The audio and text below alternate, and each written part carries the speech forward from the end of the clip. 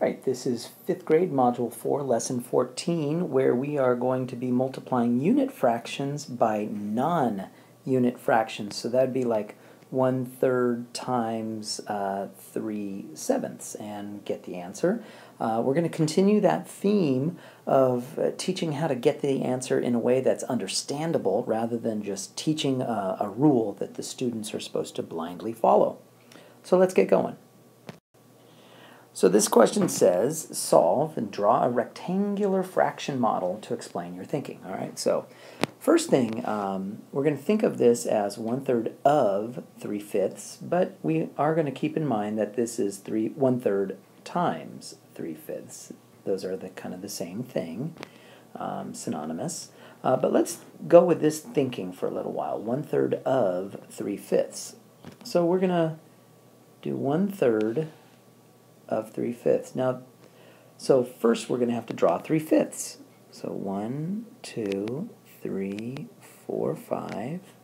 And now we're going to shade in, let's see, 3 fifths. So I'm going to shade in 1, 2, and 3. So there's my 3 fifths. So there's our model that represents, oops, uh, well, I will use thinner pen, 3 fifths. All right, there's my model for 3 fifths. Now, it says one third of 3 fifths. All right, so now one third of 3 fifths. So a couple of ways we can think of this problem. I'm going to show you both ways. Now, one, uh, just using logic, we can see that one third of 3 Okay, and I'm going to write this right here. One third of three fifths. So one third of three is one. So one third of three fifths is one fifth. So we could see the answer if F I F T H. Ah, this one fifth. So we could see that the answer, boom, right away is right here. One third of three fifths is 1 out of 3, so it's, the answer is 1 fifth. So we can immediately see that the answer is 1 fifth. So if we want to, let's write that down. So the answer is 1 fifth. So that's one way to think of it. Another way, which is more similar to what we were thinking about the last video lesson, is I'm going to go back to that 3 fifths concept. 1, 2, 3, 4, 5 and I'm going to shade in my 3 fifths. So there's 1 fifth, here's 2 fifths, and then here's 3 fifths. So there's my 3 fifths. And then if we want 1 third of 3 fifths, we just go the other direction and we chop it up into thirds. And 1 third of the 3 fifths. So that's this entire chunk right here. So we can see that one third of three fifths is equal to, and now it's three little unit squares. One, two, three. It's three little unit squares out of 15 altogether, because if we counted all of them, one, two, three, four, five, six, seven, eight, nine, ten, and then 11, 12, 13, 14, 15. Of course, a quicker way of doing that would have been just doing 3 times 5, right? So the answer is 3 fifteenths, uh, but we know how to simplify fractions. We could divide both the numerator and the denominator, in this case, by 3, and we would get 1 fifth, which is the exact same answer. So our students get, on this problem, a choice of how they're going to solve this. They have one third of three fifths, so that's just one out of the three. Or they can do this other way where they cut it horizontally and get your three, your one third of three fifths, so that ends up being three units out of 15. And then you simplify. So at this point, students can have a choice, or really, they, we want them to always be looking um, for which of the two methods is easier for any particular problem. Let's keep going. So we're going to practice this problem. So it says, of course, solve, draw a rectangular fraction model to explain your thinking. So we're going to think of this as one third of four fifths. And so our rectangle, first we're going to draw our, our four fifths. One, two, three, four, five. So there's our five pieces. And we want four of those pieces shaded in. So let's shade in four of those five pieces. All right, so there is our four fifths. Now we want one third of that. Well, the old, the previous problem, uh, we had an option where it was one third of three and we just take one of them. We can't do that here. So in this case, we're kind of limited in, our, uh, in how we do it, which means uh, we're just going to do that other, that that horizontal technique for what lack of a better phrase, which is we're going to think of one third of four fifths as chopping it up horizontally into three pieces, and one third is right here. So one third, one, two, three. So here's one third is all of these little four units right here. So one third is these four units. And so, how many units are there altogether? Well, there's three going up and down, there's five going across, so there's 15 little unit fractions altogether. And one third is four of them. So that's four out of 15. So the answer is four out of 15. So we could, to be more mathematical, write one third times four fifths is equal to four fifteenths. We haven't taught students a rule. Uh, we're, we're showing them how to build understanding, and from that understanding, they're going to eventually see this beautiful pattern, this simple little rule. So let's do a word problem. So we've got Sarah has a photography blog. Three sevenths of her photos are of nature. A quarter of the rest are of her friends, and that's kind of a tricky component. And what fraction of all Sarah's photos is of her friends? Support your answer with a model. So we're going to draw that model. And we're going to begin with this 3 sevenths of her photos are of nature. So let's draw. Here's our whole collection of photos. And Sarah needs to, we need to cut that into seven pieces. One, two, three, four, five, six, seven. So three sevenths right here is of nature. So I'm going to put uh, right here, nature. But the question says, and this is the tricky part, a fourth of the rest are of her friends. So really what we've got is here's the rest.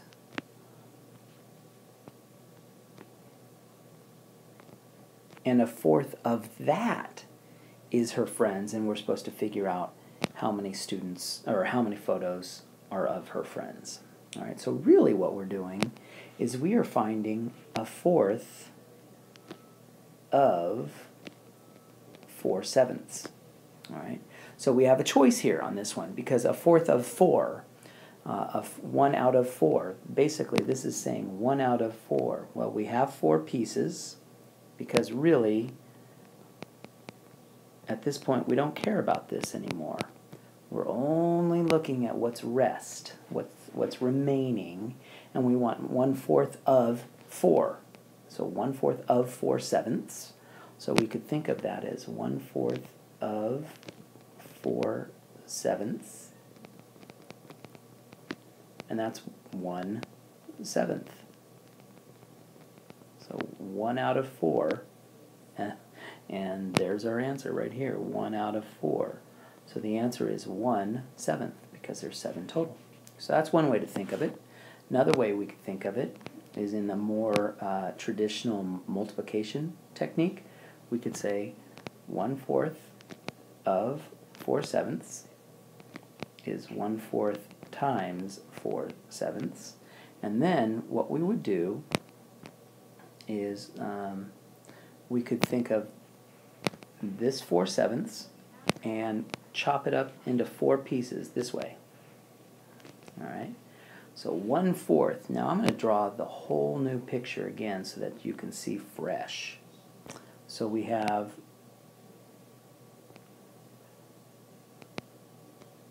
one, two, three, four, five, six, seven. So these three sevenths are of nature. So that's the part we don't, at this point, we don't really care about. We don't really care about that because what's rest is 4 sevenths. And we want to figure out 1 fourth of 4 sevenths. So what does that mean? That means we are going to chop this 4 sevenths into fourths and we're going to go horizontally this time and I'm going to make the ink a little bit thicker and I'm going to go 4 sevenths so I mean into quarters into fourths. And that's going to go this way. And we have to go the whole entire the whole entire way across. And one fourth is one of these rows. All right, one fourth of these rows, one out of the four rows, and that's four pieces. So one fourth of four sevenths is equal to these four pieces out of 28 pieces total. Little 28 unit fractions, because if you think about all these little unit fractions, there's four going up and down, there's 7 going across, so there's 28 little unit fractions all together. So that's 4 28ths. But 4 28ths can be simplified because we can divide both the numerator and the denominator by 4. And that gives us the answer 1 seventh. And that's the answer we knew all along. So in this problem, we had a choice. We saw for some people, they see a shortcut. Oh, one fourth of four is one.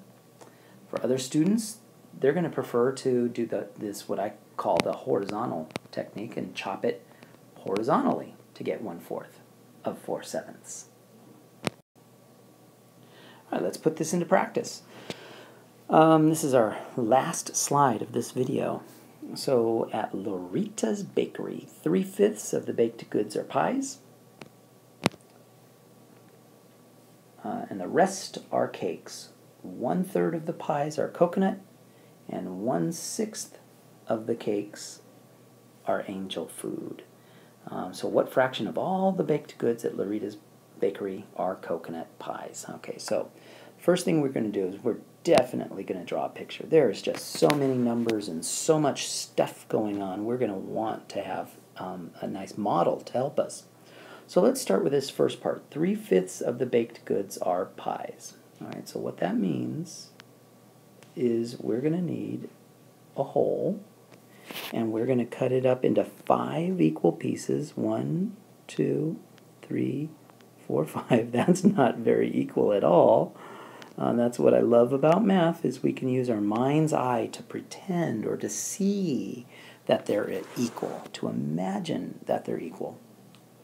So I'm going to zoom in a little bit here, and we're going to see that 3 fifths,